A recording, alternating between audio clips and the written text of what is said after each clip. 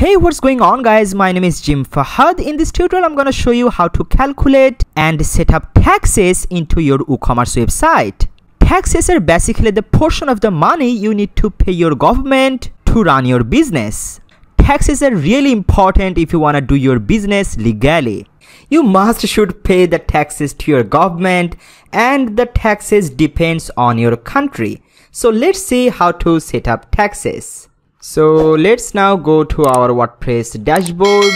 Now from WooCommerce, let's go to settings. First thing under the general tab, scroll down, make sure this one, the enable taxes option is turned on. So just enable the tax rates and calculation and then scroll down, click on save changes. And right after that, you can see a new tab has been added that's tax. So let's now click here on tax. So first of all, you will find an option says price entered with tax. By default, it's set to no. So if you set it to no, then your customer will have to pay the tax. Like if we go to the shop, like here we can see a product and its price is $115 and if the tax is $20 for this product then your customer will have to pay $20 more so for this $115 product in total they will have to pay $135 but let's say if you select this one the first option yes then instead of your customer, you will have to pay the tax. So if you make this one yes, then from shop page, for this product the price is $115 and you are paying the tax on behalf of your customer. So after paying the tax, you will basically receive $95. So if you set this option, the first option, yes, I will enter price inclusive of tax then what can you do? You can increase the price $20 more. Like then instead of $115, you can put the price $135 as you are paying the tax on behalf of your customer. So it's up to you if you select yes, then add the tax price with the product and if you select no, then keep the price the way it is, then your customer will have to pay the tax and here you can see the calculate tax based on so you already guessed it right? If you select the option to no then select it customer shipping address or you can set the customer billing address. And if you want to pay the tax i mean if you select this option then the calculate tax based on you need to make this option to shop base address as you are paying the tax but for now, I wanna select this no, I will enter price exclusive of tax and then calculate tax based on customer shipping address. And then here shipping tax class, I wanna make it the first option shipping tax class based on cart items and these are other classes. We will set up different tax rate on each of these classes. So for now, let's select shipping tax class based on cart items and then let's select it round tax at subtotal level. And then here is the additional tax classes. So let's say in your country you have different tax rates for different type of products. Let's say for clothing type of products your country has a different tax rate. Then you can create a new tax class here. Just hit enter and let's another let's say clothing tax. So you can set up a different tax rate for the clothing products. By default there are only two the reduced rate and zero rate. So you can use this zero rate for digital products because in most of the countries digital products has no taxes. So I will show you shortly how to set up all these tax rates from here at the top tab. You can see standard rates, reduced rates, zero rates. Also we have added here clothing tax. So that will be also added here at the top. And then here you can see the options for display price in the shop for now, let's keep it excluding tax. Let's select it and also display prices during cart and checkout. For now, also keep it excluding tax. And then here you can see price display suffix.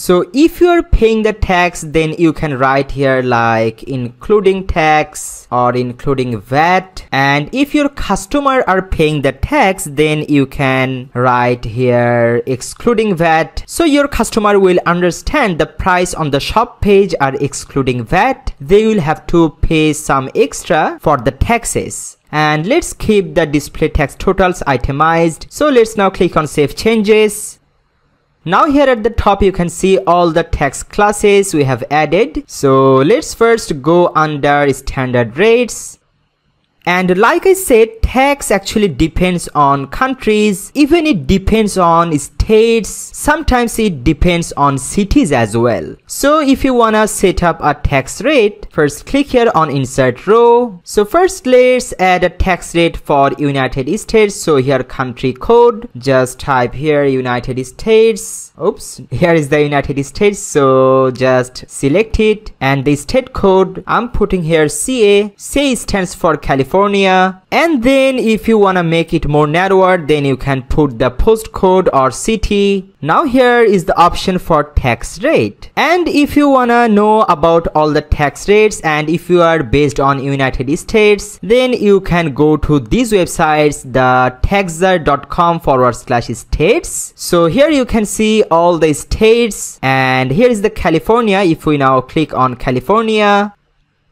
then here you can see on California the sales tax rate is 7.25%. If we now go back and if we select New York, you see on New York sales tax rate is 4%. So let's close this. So as we are setting the tax rate for California, so tax rate let's put it 7.25 and here's the priorities one and shipping is checked Let's now add another row. Click here insert row. This one is also for United States. Yes, United States and state code is for New York. So for New York, the tax rate I wanna set up 4.00. Priority is 1 and shipping is checked. Now let's click on save changes. So this is the standard tax rates. If we now go under clothing tax rates, now click on insert row. Here you can put the country United States, state code California. And for example, if the tax rate and only for example, let's say the tax rate to 3.5 because like I said, it depends on products category as well. Also for clothing, let's insert another row. And this time country code I wanna put here Canada. So here it is. And for Canada I wanna set the tax rate to 5.00% let's now click on save changes in the same way you can set up the tax rate for reduced rate taxes. So just insert a row. And let's say for reduced rate taxes if you put the country blank and if you only put the tax rate to 5.00% so whenever you keep the country code blank that means it would be applicable for all the countries so if anyone orders any product that's under reduced rate then no matter which country your customer in they will have to pay the 5.00% tax rate. Now click on save changes. Now let's go under zero rate rates now click on insert row and also for the zero tax rates I want to keep the country code blank and the tax rate I want to set it to 0.00 because I want to use this zero rates class on the all digital products. So let's click on save changes.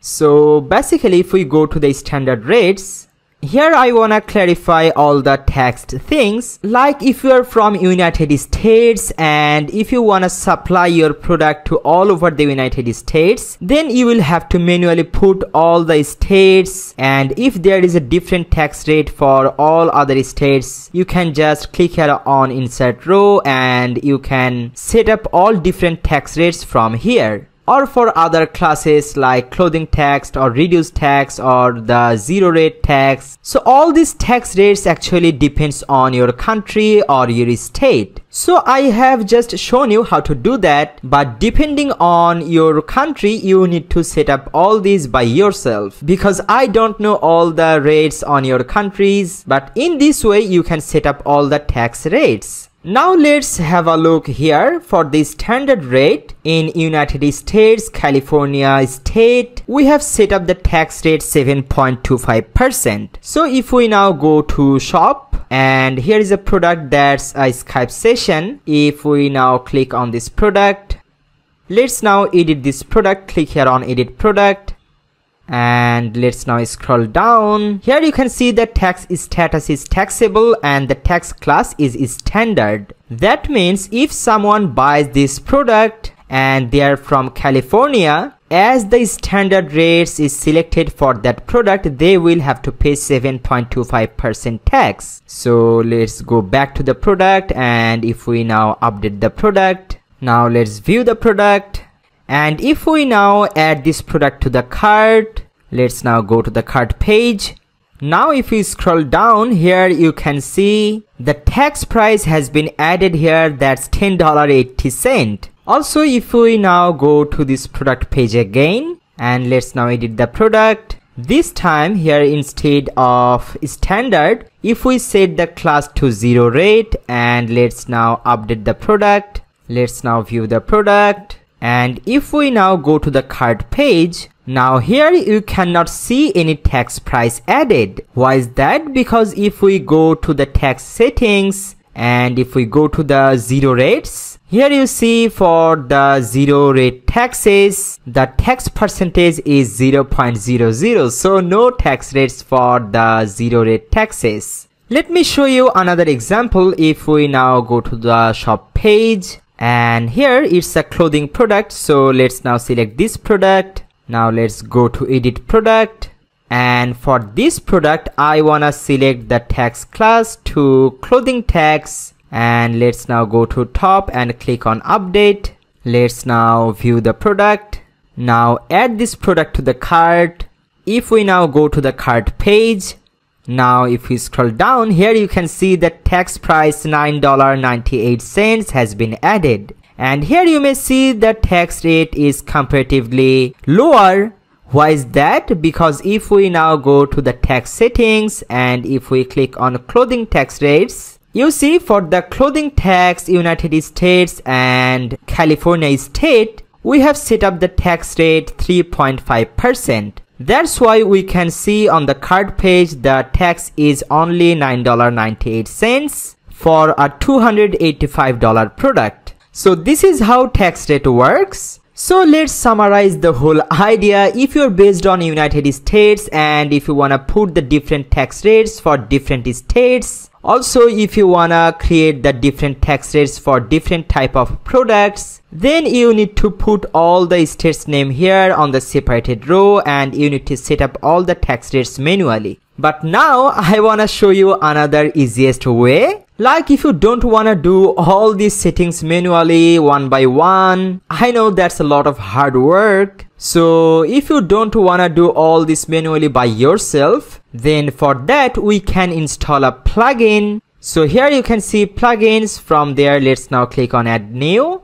And then from the search bar, I'm searching for WooCommerce services. So here is the plugin WooCommerce services. Let's now install it. Click here install now. Let's now activate it. So basically if we use this plugin then you don't have to put all the tax rates by yourself manually. This plugin will take care of all the tax rates. And to set up this plugin properly we need to install Jetpack as well. So here you can see at the top it says connect Jetpack to activate WooCommerce services. Let's now click here install Jetpack and connect. And it's redirected us to Jetpack's website. So if you already have a Jetpack account, it's completely free. Just put your email address and click on continue. But let's say if you don't have an Jetpack account, just scroll down from here, click on create a new account. You just need to put your email address and create a password. It's super easy. But I already have a Jetpack account. So let's now click here on continue. So it says we just emailed a link to your email address. Please check your inbox. So I get this email. Let's now click here login to wordpress.com. Now click here continue to wordpress.com. So it's setting up everything for me. So it's all set up and it redirected us to the website. So it says setup complete. So if we now go to WooCommerce, then let's go to settings. Okay, now click here, got it, thanks. So this time if we go to tax, now we can see here a new option says automated taxes. So from here just select it enable automated taxes and then scroll down and click on save changes. We are done. Now we don't need to put all the tax rates by ourselves individually. It will handle all the tax rates for ourselves. Alright. And I have a complete WooCommerce tutorial in this channel where I have shown everything in detail step by step from start to finish. So no matter if you're a complete beginner, you can create a complete e-commerce website by following that tutorial. I have shown there everything. How to get your domain name and web hosting, how to add any type of products, how to take payments, how to deliver products to your customers, everything. If you follow that tutorial step by step, you can start selling anything online from today. I will put the tutorial link in the description so you can check that out. If you like it, please hit the like button, subscribe this YouTube channel and press the bell icon so whenever I will upload a new video, you will get notified before anyone. Thank you so much for watching. I will see you in the next video.